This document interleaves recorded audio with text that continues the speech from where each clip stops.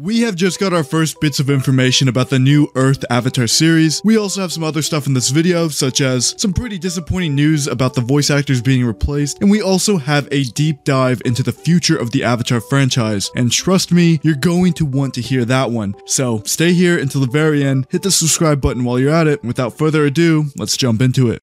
For those of you who didn't watch my last video, you might not know that it's been widely reported that there is an Earthbender Avatar series in the works. Yes, the Earth-bending Avatar after Korra. This series will start airing in the same exact year as the adult Aang animated movie, which is stated to be coming out October 10th, 2025. So that means this series has to come out in either November or December. If you made me guess how they're going to be announcing this series, I would guess it's going to be a surprise uh, post-credit scene after the Aang movie. Here's what we know about the series that I didn't mention in my last video. Now, I want to make this very, very clear. This is a rough estimation and may not be true, but it makes a lot of sense. This new series is likely going to take place in our current era, so sometime before 2030. If Korra dies at exactly 100 years old, which isn't unreasonable considering Aang's total lifespan was 166 years old, Kyoshi's was over 200, etc etc., etc. And that would mean the new Earth Avatar series will take place in 2025, the exact year as the show is being aired, which would also make him the same exact age as Aang, 12 years old. One, this would be super nostalgic to all of the old fans, and it's also sort of a homage to Aang in a way, but it would also be pretty unique to see a story written about a bender in our current time with our technology. We got to see a little bit of that in Korra, but that was more like 1930s New York vibes. I really like this idea and it does make a lot of sense. However, nothing is really that simple with Avatar. The creators like to always go the hardest possible route with this franchise and I don't know why. Nothing is ever as simple as let's do something that makes sense. After the cartoon finished airing, they were like, hey, let's sign off on a live action series. Then when that failed, Nickelodeon was like, hey, do you want to make a movie about Zuko? And they were like, no, let's make a whole new series based on on a whole new avatar that no one's ever heard of before, and let's place her in 1930s New York. And we all know how rough that was. Now, I really liked Korra, but there were a lot of difficult moments to get through. It seems like the creators always wanted to make more of a sci-fi-like series, sort of similar to Cowboy Bebop. Even looking at the ATLA concept art, you can see it. I feel like there is a chance we get this futuristic sci-fi avatar series, which if it's done perfectly, it can work. I just personally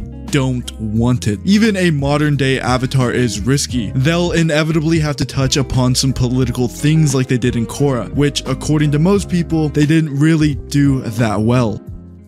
The future of Avatar is looking the brightest it has ever looked. We have a pretty good layout for what the future of Avatar is going to look like for the next five years, and it includes a lot of animated projects that we have been desperately lacking for years. But there's something that you guys have been desperately lacking, and that brings me to today's sponsor. This video is brought to you by Surfshark VPN. Surfshark is a VPN, also known as a virtual private network, that keeps your online identity safe by encrypting all of the information sent between your device and the internet. This keeps your personal data protected from big companies and cyber criminals. You guys are always commenting, saying stuff like, why isn't Avatar on Netflix anymore? Licensing shows between countries is complicated. You can fix this by downloading Surfshark VPN and changing your location to the US or UK. And you'll have access to Avatar again, along with many different shows. Surfshark has a clean web feature that blocks ads, yes, ads, trackers, malware, and even phishing attempts, allowing you to browse the internet safely. This is one I use pretty much every single day. Surfshark also has a feature to where one account will work on an unlimited amount of devices. And trust me, I've tested it. So what are you guys waiting for? To get all of this, use my code AVATARS at checkout, and for the rest of December, get 85% off plus 3 extra months free. Surfshark offers a 30-day money-back guarantee, so there really is no risk to try it out. The link is in the description down below, and thank you so much to Surfshark for sponsoring today's video.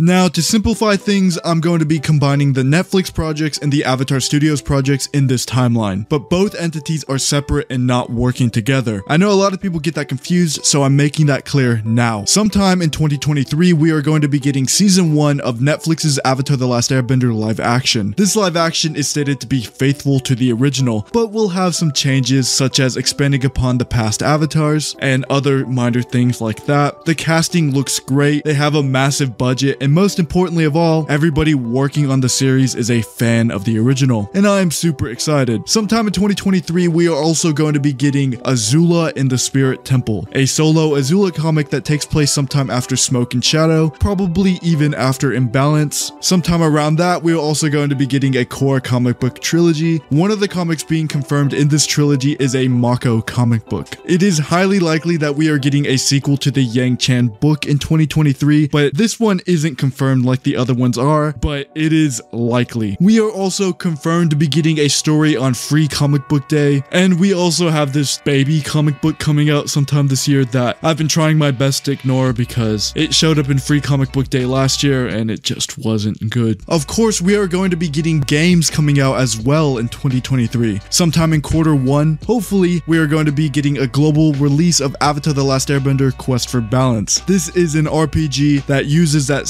cel shaded kind of art style that The Legend of Zelda uses. Uh, this was supposed to be released November 8th of this year. However, it was delayed for unknown reasons. A lot of fans speculate that the creators just wouldn't approve it because the game wasn't good. However, that is not confirmed. I'm hoping for an announcement once all of this James Cameron stuff dies down, but who knows at this point. We also have a mobile RPG called Avatar Generations coming out very, very soon. I don't have an official release date for you guys, but I can say this. You're most likely going to see an official collaboration between this channel and that game some point in the very, very near future. 2024 is going to be a weird year for Avatar. Originally, all of the leaks had the Kyoshi movie coming out in 2024, then it was later changed to an Aang movie coming out in 2024. Then Paramount officially comes out and tells everybody that there's actually three movies in production, and the first one is the Aang movie coming out in 2025. So they changed it a whole year back. So as of right now, there is nothing confirmed for 2024. My cope prediction is we'll have a Kyoshi miniseries, but that is cope and not confirmed in any single way possible. That's just me really wanting something big to happen. Uh, what's likely going to happen, this is going to be a year full of Avatar press for Avatar Studios. Uh, they'll probably show up to Comic Con and many more conventions, maybe hint at future projects, show title cards, official art, and maybe if we're lucky, we'll get that MMORPG that was leaked earlier this year. Now, 2025 is when things start to get interesting. In 2025, we'll most likely have season 2 of the Avatar live action, along with the adult Aang movie. And then after that, we're going to be getting the Earth Avatar series. Currently, we have this movie, then series, split all the way up until 2027. So, 2025, movie, then series. 2026, movie, then series. 2027, movie, then series. As of right now, we don't know if all of the series are going to be tied together. For example, Earth Avatar Season 1, then Earth Avatar Season 2. We don't really know. Speaking of movies and series, uh, the Zuko movie and the Kyoshi movie are back in Paramount slate, but this time with an unknown release date. Avatar News seems to be thinking that these movies are probably going to be taking place outside of 2027. We now have an update to the whole voice actors being replaced thing. Dante Basco is now confirmed to be reprising his role as Fire Lord Zuko. However, everybody else is out. Last time we speculated this based on leaks about the games, but now this is confirmed to be happening for the movies as well. There is currently a global casting call for Asian and indigenous voice actors and actresses to find the new adult team Avatar. Again, I said it in my last video, I think it's silly to snub the original cast who clearly wants to reprise their roles. The original voice actress for Toph wants to be recasted. Suki's voice actress is literally Asian and she's not being recasted for whatever reason. It really seems like this whole we're going to make things right mindset with this whole voice acting thing is just a cover up to not pay the original cast their fair share. All of the original cast deserves to reprise their roles. Now, Korra's voice actress willingly gave up her role for an indigenous person to play Korra in the future. That is a completely different scenario. She gave up her role because she wants to. And other Avatar news, The Legend of Genji has been cancelled. In their statement, they basically said it's time for their team to begin a new journey and move on with their life, and that they're going to be stepping away to make room for the new Earth Avatar series. Which is disappointing to hear because they put so much work into this project, but I get it though. I really do. I get it. I just want to say a quick thank you to everybody on the team. Uh, you guys kept the fandom entertained for years when literally no one else would. So thank you for that. All right, congratulations. You guys made it to the end of the video. Thank you guys so much for doing that. It means a lot,